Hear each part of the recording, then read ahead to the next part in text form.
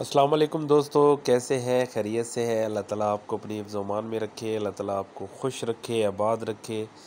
दोस्तों, वेलकम करता हूँ मेरे चैनल ब्रिड जोन पर। इंशाल्लाह आज की जो वीडियो का टॉपिक है, वो है तीतर का डर आप कैसे ख़त्म करेंगे। इंशाल्लाह बहुत ही नहायत ही आसान एक तरीका मैं आपको बताऊँगा। अगर इसको फॉलो करेंगे, इंशाल्लाह आपका तीतर का डर ख़त्म हो जाएगा और वो आपसे मानूस हो जाएगा। तो वीडियो शुरू से लेकर आखिर तक देखिएगा। जो दोस्त मेरे नए हैं, मेरे चैनल पर उनसे गुजारिश है कि मेरे चैनल को ज़रूर सब्सक्राइब करें और साथ बेल आइकन को भी दबा दें ताकि जो भी मैं वीडियो अपलोड करूँ, उसका नोटिफिकेशन आप तक पहुँच जाए। तो आए दोस्तों, वीडियो को शुरू करते हैं। तो दोस्तों, अगर आप चाहते हैं कि आपका जो तीतर है, वो आपसे ना डरे तो इसका एक नहायत ही आसान तरीका है। इन आज़माया हुआ तरीका है। मैं अपने तमाम दोस्तों से जो मुझसे बात करते हैं, मैं उनको सिर्फ़ यही एक तरीका बताता हूँ और काफ़ी दोस्त इस चीज़ से सहमत भी हो जाते हैं और उनका जो तीतर है, वो उनसे मानूस हो जाता है। तो दोस्तों, आप ने अगर आप अपने तीतर को अपने साथ मानूस करना चाहते हैं और ये हर एक शौकीन, जो भी तीतर का शौकीन है उसकी ख्वाहिश होती है कि यार उसका तीतर उससे ना डरे। बाज़ात हम नए जोड़े ख़रीद के लाते हैं तो उनके पास जाने से ही वो डर जाते हैं इधर उधर सर मारने लग जाते हैं या पिंजरे में सर मारने लग जाते हैं, केज में छोड़ें तो जब दाना डालने के लिए जाते हैं तो वो भाग जाते हैं। अपने आप को ज़ख्मी कर लेते हैं। तो दोस्तों इन जो तरीका मैं बताने जा रहा हूँ आपको, ये आप आज़मा के देख लीजिएगा। सौ फ़ीसद काम करेगा और अल्लाह के हुक्म से आपका तीतर आपसे डरेगा भी नहीं और आपके साथ मानूस हो जाएगा। दोस्तों, आपके सामने ये मेरा एक सिंधी दकनी बच्चा है, नर है और मैं इसके साथ साथ इसकी वीडियो भी बना रहा हूँ और मैं आपको इसके मतलब भी बताता जाता हूँ। ये जब मेरे पास आया था तो आप यकीन करें, इतना डरपोक था, जिसकी कोई हद नहीं ये बड़े साइज़ का दकनी नर है।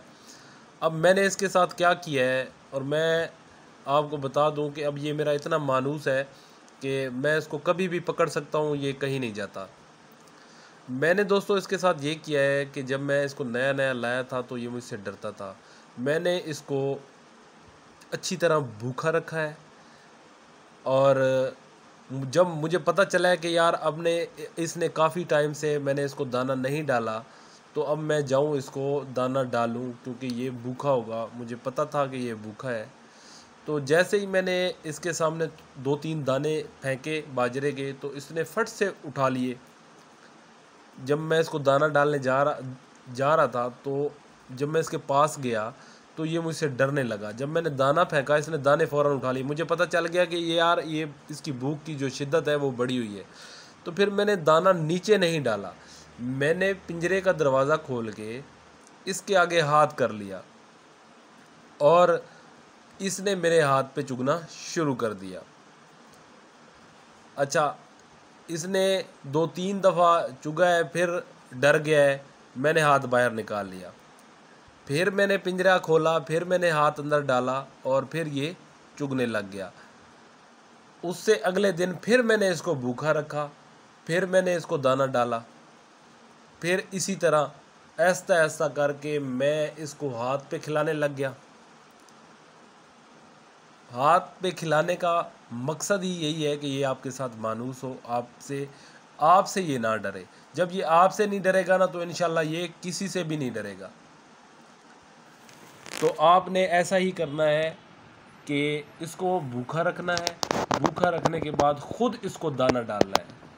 और दिन में आप इसको आधा घंटा दे दें, एक घंटा दे दें, वो आपके शौक़ की बात है। ख़ुद इसको इस पिंजरे में डाल के इसको ख़ुद मट्टी दें ताकि ये मट्टी में खेले। तो इन आप हफ़्ता ये अमल करें, इसको भूखा रख के दाना हाथ पे खिलाएँ। इन ये आपके साथ मानूस हो जाएगा, फिर इसको पिंजरे से बाहर भी छोड़ देंगे ना इन ये कहीं भी नहीं जाएगा। तो उम्मीद करता हूँ दोस्तों, मेरी ये जो बात है आपको समझ आ गई होगी, और उम्मीद करता हूँ ये वीडियो भी आपको अच्छी लगेगी। अगर वीडियो अच्छी लगे तो इसको लाइक कीजिएगा, शेयर कीजिएगा, और कमेंट्स में मुझे बताइएगा कि वीडियो अच्छी है कि नहीं।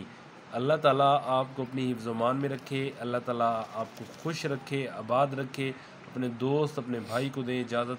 अल्लाह हाफिज़।